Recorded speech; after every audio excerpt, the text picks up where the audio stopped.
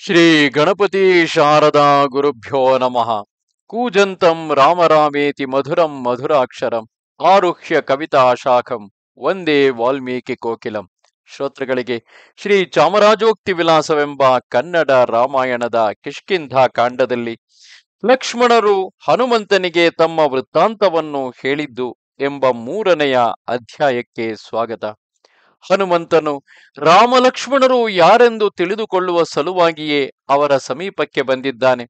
ತಾನು ಆಡುವ ಮಾತಿನಲ್ಲೇ ರಾಮಲಕ್ಷ್ಮಣರ ಮುಖದಲ್ಲಿ ಉಂಟಾಗುತ್ತಿರುವ ಭಾವನೆಗಳ ವ್ಯತ್ಯಾಸವನ್ನು ಹಾಗೂ ಅವರ ಮುಖಭಾವಗಳನ್ನು ನಿರಂತರವಾಗಿ ಗಮನಿಸುತ್ತಾ ಎಷ್ಟೆಷ್ಟು ಹೇಳಬೇಕು ಬಹಳ ಎಚ್ಚರಿಕೆಯಿಂದ ಸೂಕ್ಷ್ಮವಾಗಿ ಅವರಿಗೆ ತಿಳಿಸುತ್ತಾ ಅವರಿಂದ, ಅವರು ತಮಗೆ ಸ್ನೇಹಿತರಾಗಿರುವರು ಇಲ್ಲವೇ ಶತ್ರುಗಳಾಗಿರುವರೋ ಎಂಬುದನ್ನು ಅರಿಯುವ ಪ್ರಯತ್ನವನ್ನಿಲ್ಲಿ ಮಾಡುತ್ತಿದ್ದಾನೆ. ಈ ರೀತಿಯಲ್ಲಿ ಮಹಾತ್ಮರಾದ ಸುಗ್ರೀವನ ಮಾತನ್ನು ಕೇಳಿ, ಹನುಮಂತನು ಋಷಮುಖ ಪರ್ವತದಿಂದ ರಾಮಲಕ್ಷ್ಮಣರಿದ್ದ ಸ್ಥಳಕ್ಕೆ ನೆಗೆದನು. ಅವನು ಕಪಿರೂಪವನ್ನು ಬಿಟ್ಟು ಸನ್ಯಾಸಿ ವೇಷವನ್ನು ಧರಿಸಿಕೊಂಡು ರಾಮಲಕ್ಷ್ಮಣರನ್ನು ಕಂಡು ನಮಸ್ಕರಿಸಿ ವಿನಯದಿಂದ ಅವರನ್ನು ಕುರಿತು ಹೀಗೆಂದನು. ಎಲೈ ವೀರರೇ ನಿಮ್ಮ ರೂಪವನ್ನು ನೋಡಿದರೆ ವ್ರತ ನಿಯಮವುಳ್ಳವರಾದ ರಾಜರ್ಷಿಗಳಂತೆ ಒಪ್ಪುತ್ತಿದ್ದೀರಿ. ನೀವು ಅತ್ಯಂತ ತನುಕಾಂತಿಯುಳ್ಳವರು. ಈ ದೇಶಕ್ಕೆ ಹೇಗೆ ಬಂದಿರಿ? ನೀವು ಮಹಾ ಧೈರ್ಯವಂತರು ನಾರು ಬಟ್ಟೆ ಕೃಷ್ಣಾಜಿನಗಳನ್ನು ಧರಿಸಿಕೊಂಡಿರುವ ನೀವು ಯಾರು? ನೀವು ಮಹಾ ದುಃಖಾಕ್ರಾಂತರಾಗಿ ನಿಟ್ಟುಸಿರು ಬಿಡುತ್ತಾ ಸಮಸ್ತ ಪ್ರಾಣಿಗಳಿಗೂ ದುಃಖವನ್ನುಂಟು ಮಾಡುತ್ತಿದ್ದೀರಿ ನೀವು ಸಿಂಹದಂತೆ ಗಂಭೀರ ದೃಷ್ಟಿಯುಳ್ಳವರು. ಸಿಂಹರಾಜನಿಗಿಂತಲೂ ವಿಶೇಷವಾದ ಪರಾಕ್ರಮವುಳ್ಳವರು. ನಿಮ್ಮ ಕೈಯಲ್ಲಿರುವ ಬಿಲ್ಲು ಬಾಣಗಳು ಇಂದ್ರ ಚಾಪದಂತೆ ಮನೋಹರವಾಗಿವೆ. ನಿಮ್ಮ ಆಕಾರವನ್ನು ನೋಡಿದರೆ ಸಮಸ್ತ ಶತ್ರುಗಳನ್ನು ಜಯಿಸುವಿರೆಂದು ತೋರುತ್ತದೆ. ನೀವು ಮಹಾ ರೂಪ ಸಂಪನ್ನರಾಗಿ ಐಶ್ವರ್ಯವಂತರಾಗಿದ್ದೀರಿ. ನಿಮ್ಮ ಭುಜಗಳು ಆನೆಯ ಸೊಂಡಿಲಂತೆ ಮನೋಹರವಾಗಿ ಒಪ್ಪುತ್ತಿವೆ. ನಿಮ್ಮನ್ನು ನೋಡಿದರೆ ಮದವೇರಿದ ವೃಷಭರಾಜನಂತೆ ಒಪ್ಪುತ್ತಿದ್ದೀರಿ. ನಿಮ್ಮ ದೇಹಕಾಂತಿಯಿಂದ ಈ ಪರ್ವತವೆಲ್ಲವೂ ಬೆಳಗುತ್ತಿದೆ. ನೀವು ರಾಜ್ಯಾಧಿಪತ್ಯಕ್ಕೆ ಯೋಗ್ಯವಾದ ದೇವತಾ ವಂಶದವರು. ಮನುಷ್ಯರಲ್ಲ, ನೀವು ಈ ದೇಶಕ್ಕೆ ಬಂದ ಕಾರಣವೇನು? ನೀವು ಕಮಲದ ಎಸಳಿನಂತೆ ವಿಶಾಲವಾದ ಕಣ್ಣುಗಳುಳ್ಳವರು ಮಹಾ ಪರಾಕ್ರಮಿಗಳು ಹೇ, ಹಾಗಾದರೂ ಜಡೆಗಳನ್ನು ಧರಿಸಿಕೊಂಡಿದ್ದೀರಿ. ರೂಪದಲ್ಲಿ ಒಬ್ಬರಿಗೊಬ್ಬರು ಸಮಾನರಾಗಿದ್ದೀರಿ. ನೀವು ದೇವವಿಲಾಸದಿಂದ ಭೂಲೋಕಕ್ಕೆ ಬಂದ ಚಂದ್ರ ಸೂರ್ಯರಂತೆ ಒಪ್ಪುತ್ತಿದ್ದೀರಿ. ತೆರಪಾದ ಎದೆ ಕಟ್ಟುಗಳುಳ್ಳವರಾಗಿಯೂ, ಮಹಾಬಲವಂತರಾಗಿಯೂ, ಮನುಷ್ಯಾವತಾರ ಮಾಡಿದ ದೇವತೆಗಳಂತೆಯೂ ಒಪ್ಪುತ್ತಿದ್ದೀರಿ. ಸಿಂಹರಾಜನಂತೆ ಹೆಕ್ಕತ್ತುಳ್ಳವರಾಗಿ ಅತ್ಯಂತ ಉತ್ಸಾಹ ಶಕ್ತಿಯುಳ್ಳವರಾಗಿದ್ದೀರಿ ನಿಮ್ಮ ತೋಳುಗಳು ನಿಡಿದಾಗಿ ಕ್ರಮವರ್ತುಳವಾಗಿ ಲಾಳವಿಂಡಿಗೆಯಂತೆ ಒಪ್ಪುತ್ತಿವೆ. ನಿಮ್ಮ ಭುಜಗಳು ಭುಜಕೀರ್ತಿಯೇ ಮೊದಲಾದ ದಿವ್ಯಾಭರಣಗಳಿಗೆ ಯೋಗ್ಯವಾಗಿವೆ. ಇಂಥ ಭುಜಗಳನ್ನು ಏಕೆ ಅಲಂಕರಿಸಿಕೊಳ್ಳದಿದ್ದೀರಿ? ನಿಮ್ಮನ್ನು ನೋಡಿದರೆ ಈ ಭೂಮಂಡಲವನ್ನು ರಕ್ಷಿಸುವುದಕ್ಕೆ ಸಮರ್ಥರಾದವರೆಂದು ತೋರುತ್ತದೆ. ನೀವು ಸಮುದ್ರ ಪರ್ಯಂತವಾಗಿ ಹಿಮವತ್ ಸೇತು ಮಧ್ಯದಲ್ಲಿರುವ ಸಮಸ್ತ ಭೂಮಂಡಲಕ್ಕೂ ರಕ್ಷಕರೆಂದು ತೋರುತ್ತಿದೆ.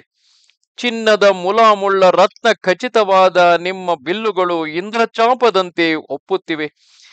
ಮೆರೆಯುತ್ತಿರುವ ಸರ್ಪಗಳಂತೆ ಶತ್ರುಗಳ ಪ್ರಾಣಾಪಹಾರ ಮಾಡುವ ಕೂರಲುಗುಳ್ಳ ಭಯಂಕರವಾದ ಅಂಬುಗಳಿಂದ ಪರಿಪೂರ್ಣವಾದ ನಿಮ್ಮ ಬತ್ತಳಿಕೆಗಳು ರಮಣೀಯವಾಗಿ ಶೋಭಿಸುತ್ತಿವೆ. ನಿಮ್ಮ ಖಡ್ಗಗಳು ಪೊರಬಿಟ್ಟ ಮಹಾಸರ್ಪಗಳಂತೆ ಶೋಭಿಸುತ್ತಿವೆ. ಎಲೈ ವೀರರೇ, ನನ್ನೊಡನೆ ನೀವು ಏಕೆ ಮಾತನಾಡದಿದ್ದೀರಿ? ಇನ್ನು ನನ್ನ ವೃತ್ತಾಂತವನ್ನು ಕೇಳಿ. ಧರ್ಮಾತ್ಮನಾಗಿ ಸತ್ಯವಾದಿಯಾದ ಸುಗ್ರೀವನು ನಿಮ್ಮೊಡನೆ ಸ್ನೇಹವನ್ನು ಬಯಸುತ್ತಿರುವನು. ನಾನು ಆತನ ಪ್ರಧಾನನು, ವಾಯುಪುತ್ರನು. ನನ್ನ ಹೆಸರು ಹನುಮಂತ. ನಾನು ಸುಗ್ರೀವನ ಕಾರ್ಯವನ್ನು ಸಾಧಿಸಿ ಆತನ ಚಿತ್ತಪ್ರಸಾದವನ್ನು ಪಡೆಯಬೇಕೆಂದು ವಾನರ ರೂಪವನ್ನು ಮರೆಸಿಕೊಂಡು ಸನ್ಯಾಸಿ ವೇಷದಿಂದ ಋಷ್ಯಮೂಕ ಪರ್ವತದಿಂದ ಇಲ್ಲಿಗೆ ಬಂದೆನು. ನಾನು ಕಾಮರೂಪಿ, ಯಾವ ಸ್ಥಳಕ್ಕೆ ಬೇಕಾದರೂ ಹೋಗುವ ಸಾಮರ್ಥ್ಯವುಳ್ಳವನು ಎಂದು ನುಡಿದನು. ಅಂದರೆ ಆರಂಭದಲ್ಲಿ ರಾಮಲಕ್ಷ್ಮಣರನ್ನು ಹೊಗಳುವಂತೆಯೇ ಮಾತನಾಡುತ್ತಿರುವಾಗಲೇ ಇವರು ರಾಜಪುತ್ರರೆಂದು ವಾಲಿಯಂತಹ ಸಾಧಾರಣ ರಾಜನಿಗೆ ಭಟರಾಗಿ ಕೆಲಸ ಮಾಡುವಂತಹವರಲ್ಲವೆಂದು ಹನುಮಂತನಿಗೆ ಸ್ಪಷ್ಟವಾಗಿರಬೇಕು. ಆ ಕಾರಣದಿಂದಾಗಿಯೇ ನಿಧಾನವಾಗಿ ಅವರೊಡನೆ ಮಾತನಾಡುತ್ತಾ ತಾನು ಯಾರು, ತನ್ನ ಯಜಮಾನನಾದ ಸುಗ್ರೀವನ ಸಂಗತಿಯನ್ನು ತಿಳಿಸುತ್ತಿರುವನು. ಆ ಮಾತನ್ನು ಕೇಳಿ ಶ್ರೀರಾಮನು ತನ್ನ ಬಲಭಾಗದಲ್ಲಿದ್ದ ಲಕ್ಷ್ಮಣನನ್ನು ಕುರಿತು ಹೀಗೆಂದನು. ಎಲೆ ಲಕ್ಷ್ಮಣ ಈತನು ಕಪೀಶ್ವರನು, ಮಹಾತ್ಮನು ಆದ ಸುಗ್ರೀವನ ಪ್ರಧಾನನು. ಸುಗ್ರೀವನೊಡನೆ ಸ್ನೇಹವನ್ನು ಬಯಸುತ್ತಿರುವ ನಮ್ಮನ್ನು ಅರಸಿಕೊಂಡು ಬಂದಿದ್ದಾನೆ. ಲಕ್ಷ್ಮಣ, ಸುಗ್ರೀವನ ಪ್ರಧಾನನಾದ ಈತನೊಡನೆ ಸಂಭಾಷಣೆ ಮಾಡು. ಈತನು ನುಡಿಜಾಣ್ಮೆಯುಳ್ಳವನು. ಈತನೊಡನೆ ವಿನಯದಿಂದ ಮಾತನಾಡು. ಋಗ್ವೇದ, ಯಜುರ್ವೇದ, ಸಾಮವೇದ, ಅಥರ್ವಣ ವೇದಗಳ ರಹಸ್ಯಗಳನ್ನು ತಿಳಿಯದವನು. ಇಷ್ಟು ಚೆನ್ನಾಗಿ ಮಾತನಾಡಲಾರ. ಈತನು ವ್ಯಾಕರಣ ಶಾಸ್ತ್ರದಲ್ಲಿ ಮಹಾ ವಿದ್ವಾಂಸನೆಂದು ತೋರುತ್ತದೆ. ಇಷ್ಟು ಮಾತುಗಳನ್ನು ನುಡಿದರು ಮರವೆಯಿಂದಲಾದರೂ ಒಂದು ಅಪಶಬ್ದವನ್ನೂ ನುಡಿಯಲಿಲ್ಲ. ಈತನು ಮಾತನಾಡುವಾಗ ಮುಖದಲ್ಲಾದರೂ, ಕಣ್ಣುಗಳಲ್ಲಾದರೂ, ಹಣೆಯಲ್ಲಾದರೂ, ಹುಬ್ಬುಗಳಲ್ಲಾದರೂ, ಮಿಕ್ಕ ಯಾವವೇ ಇವನ ಅಂಗಗಳಲ್ಲಾದರೂ ಯಾವ ವಿಕಾರವೂ ಕಾಣಿಸಲಿಲ್ಲ. ಅತಿ ವಿಸ್ತಾರವು, ಸಂದಿಗ್ಧವು, ವಿಲಂಬಿತವು ಅತಿ ಶೀಘ್ರೋಚ್ಚರಿತವೂ ಆಗದೆ ಕರ್ಣ ಕಠೋರವಾಗಿರದೆ ಉರಸ್ಥವು ಕಂಠಗತವೂ ಎನಿಸದ ಈತನ ವಾಕ್ಯವು ಮಧ್ಯಮ ಸ್ವರದಲ್ಲಿದ್ದು ಕಿವಿಗಿಂಪಾಗಿದೆ. ಇಂತಹ ಪ್ರಧಾನ ದೂತನು ಯಾವ ದೊರೆಯ ಬಳಿಯಲ್ಲಿ ಇರುವನೋ ಅವನ ಕಾರ್ಯವು ನಿರ್ವಿಘ್ನವಾಗಿ ನೆರವೇರುವುದು ಎಂದು ಹೇಳಿದನು. ಆ ಮಾತನ್ನು ಕೇಳಿ ಲಕ್ಷ್ಮಣನು ವಾನರಶ್ರೇಷ್ಠನಾದ ಹನುಮಂತನನ್ನು ಕುರಿತು, ಎಲೈ ವಾಯುಪುತ್ರನೇ ನಿನ್ನ ಮುಖದಿಂದ ಮಹಾತ್ಮನಾದ ಸುಗ್ರೀವನ ವೃತ್ತಾಂತವನ್ನು ಕೇಳಿದೆವು. ಅವನ ಉತ್ತಮ ಗುಣಗಳನ್ನು ನಾವು ಮೊದಲೇ ಕೇಳಿದ್ದೆವು. ನಾವು ಸುಗ್ರೀವನನ್ನೇ ನೋಡಬೇಕೆಂದು ಬಂದಿದ್ದೇವೆ. ಇನ್ನು ಮುಂದೆ ನೀನು ಹೇಳಿದಂತೆ ಮಾಡುವೆವು ಎಂದು ಹೇಳಿದನು. ಹನುಮಂತನಿಗೆ ಅತ್ಯಂತ ಸಂತೋಷವಾಯಿತು. ತನ್ನ ಒಡೆಯನಾದ ಸುಗ್ರೀವನ ಕಾರ್ಯವು ಸಿದ್ಧಿಯಾಗುವುದೆಂದು ತಿಳಿದು ರಾಮಲಕ್ಷ್ಮಣರಿಗೂ ಸುಗ್ರೀವನಿಗೂ ಸಖ್ಯವನ್ನು ಮಾಡಿಕೊಡಬೇಕೆಂದು ನಿಶ್ಚಯಿಸಿದನು. ನಮಸ್ತೆ ಶಾರದೆ ದೇವಿ ಕಾಶ್ಮೀರ ಪುರವಾಸಿನಿ ತ್ವಾಮಹಂ ಪ್ರಾರ್ಥಯೇ ನಿತ್ಯಂ. ವಿದ್ಯಾದಾನಂಚ ದೇಹಿಮೆ. ನಮಸ್ಕಾರ.